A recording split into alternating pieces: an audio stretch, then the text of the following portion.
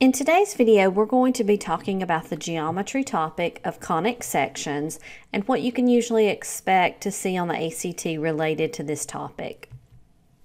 So when we're talking about a conic section, that's an intersection of a plane and a cone. And we're talking about circles, ellipses, parabolas, and hyperbolas here. When we're looking at this intersection with the plane and the cone, you can see how each of these figures are formed. You're probably familiar with each of these figures in general, but then you can see how they come about with the intersection of the plane and the cone here in these figures. So first, let's talk a little bit about parabolas. We have a standard form and a vertex form that you would see of a parabola. The parabola is a curve with vertex h and k, and we can read that vertex directly from the equation if we're given in the vertex form. The parabola is a symmetric figure with an axis of symmetry, and we're going to talk about how to find that in just a moment. But when we have this form here, when we open up or even down, we're going to have the x squared, the x term is squared, and we have the y equals that. In talking that about a parabola opening upward or downward, if the value of a, which we see, which is the coefficient on the term out in front, when a is positive, the parabola opens upward. If a is negative, the parabola is going to open downward. And talking again about the axis of symmetry, with a parabola being a symmetric figure, meaning that we can take this axis of symmetry, you could almost imagine folding the parabola on top of one another, and it's the same on the left as it is on the right we can get the axis of symmetry, which is a line, as x equals minus b over 2a. And we get that b or a value from our standard form, that a, x squared, the coefficient on the x squared, plus b, the coefficient on the x. ax squared plus bx plus c. And just read right off of that, and we can get that axis of symmetry as the line x equals negative b over 2a. Now similarly, parabolas can open to the right or to the left. And in this case, you'll see the difference, the way you know the difference. Here we have our equation on the left-hand side as x equals y squared. The y term is squared. On the right-hand side, we have x equals a negative y squared. So we talked about on the previous slide about a parabola opening upward or downward based on that leading coefficient being positive or negative.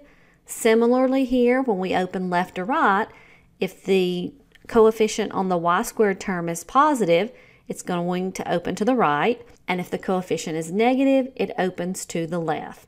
One form of question you may have on parabolas or really any conic sections is you could be given a graph and try to match that with an equation, or given an equation and match that with a graph. Either way, knowing the general format of these conic sections, it will make it easier because we know some of the properties related to the equations and we can match those up. So we've talked about parabolas opening upward or downward, to the right or to the left. We've looked at their axis of symmetry. There's also just a couple of more things you may need to know about parabolas. The graph here on our left shows our axis of symmetry of this parabola that's opening upward. There's a couple of other things I want to talk about. We've already talked about the vertex being h and k, and we can get that from the vertex form of our equation. There's also a focus and a directrix, and you can see that in both of these graphs here, the one that opens upward and the one that opens to the right. The main point I want to focus on, because it's the kind of questions we see, the focus of a parabola is inside the curve, if you'll notice that.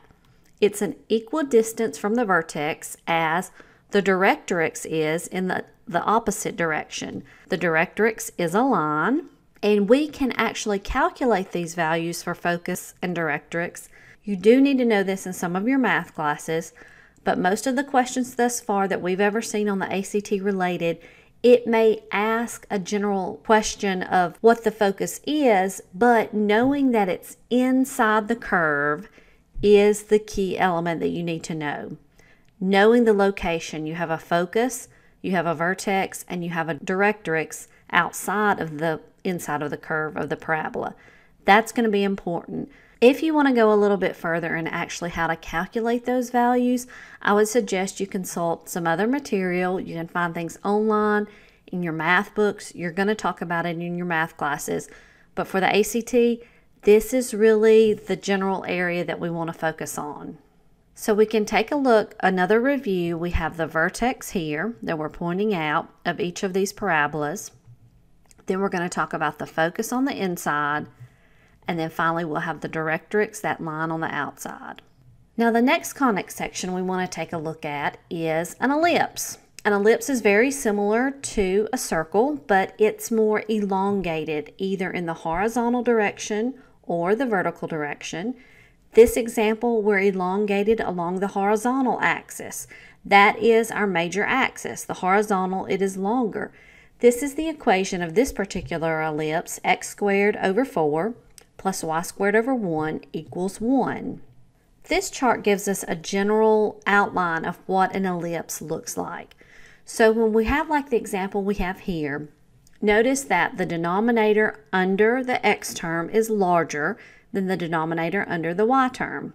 That is our key that we're going to have a horizontal major axis. Versus in our chart on the right hand side, if the larger term is under the y squared, we're going to have a major axis in the vertical axis.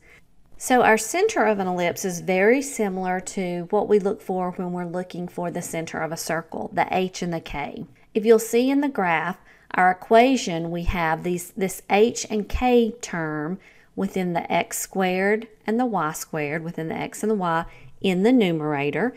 So when we look at the equation written out, we know that we have a center of 0, 0 and we're going to have an a value of 2 and a b value of 1. And we get that if we look at our equation on the left-hand side where we have a denominator of 4 under the x squared, that is a squared. So we take the square root and we're going to get a value of a equals 2. Our value under the y squared term is 1, which is b squared. Take the square root, gives us a b value of 1. From that information, we can match it up with the graph that is drawn with a center of 0, 0, our major axis of the horizontal axis, we go out to the right and out to the left, two values, that's our A value, and we go up one value from the center in either direction, and then we can connect, and there we have the ellipse. And this just gives us another general layout of what an ellipse looks like with our center point. We have our A value along the horizontal axis, the B value along the vertical axis, and then we have this C value, which we can calculate.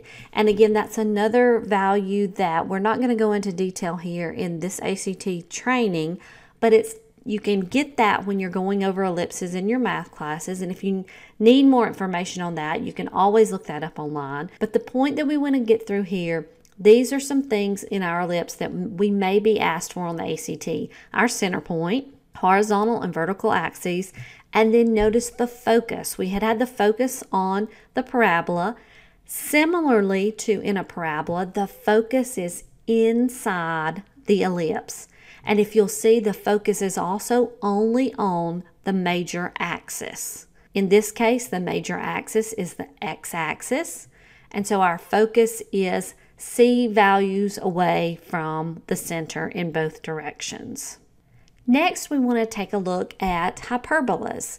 And hyperbolas are curves. They are curves that are a mirror image of one another. You'll also notice in our hyperbola, we have asymptotes, which are lines that the curves come close to but do not cross. We have this equation right here, x squared over 4 minus y squared over 1 equals 1. And what you'll notice on a hyperbola that's important to note that you can distinguish when you're given an equation is that minus sign between your x squared and your y squared terms. And it's set equal to 1.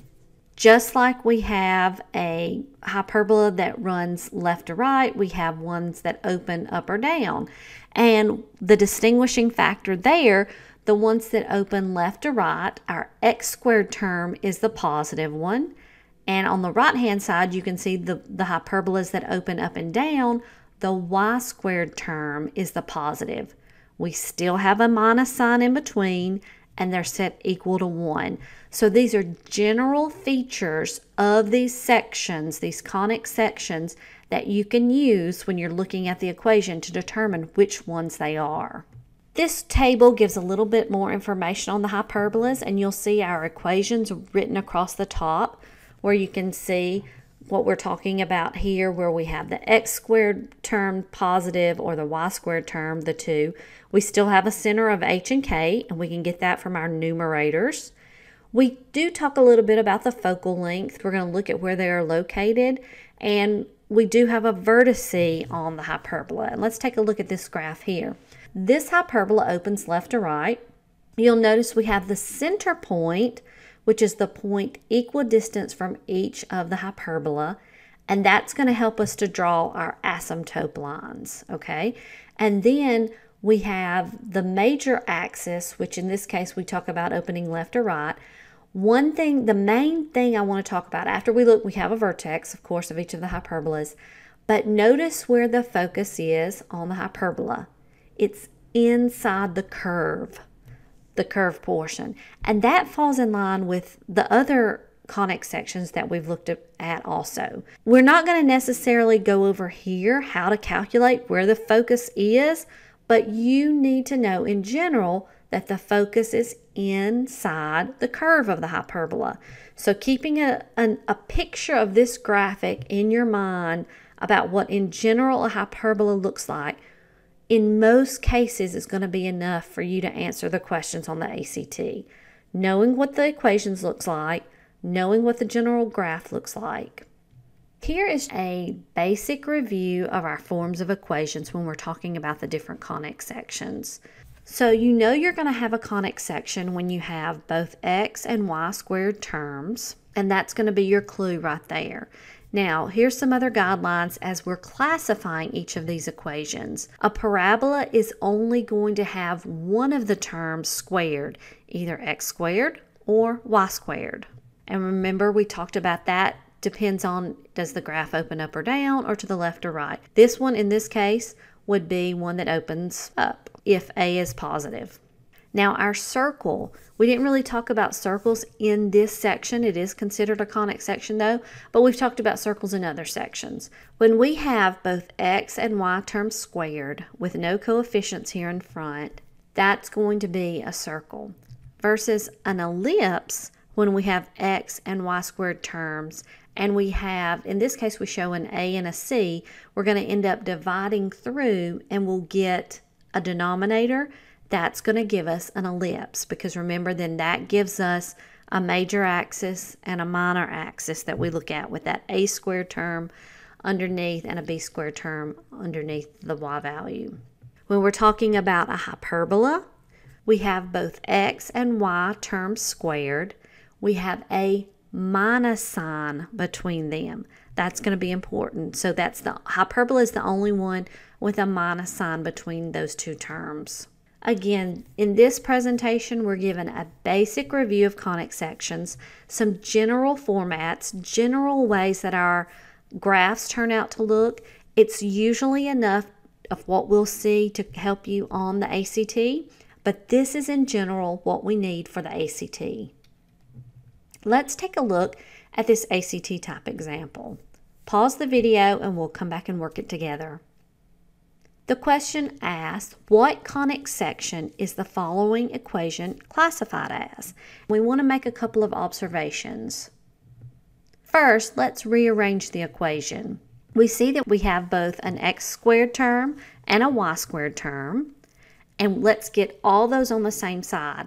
And when we do that, one thing that should jump out at you is that we have a negative sign between the x squared and the 2y squared. And we talked about that the only form of a conic section that has that is the hyperbola. And so that's going to be answer choice D. We really didn't have to do a lot of calculations. We're just looking at this classification of this conic section equation.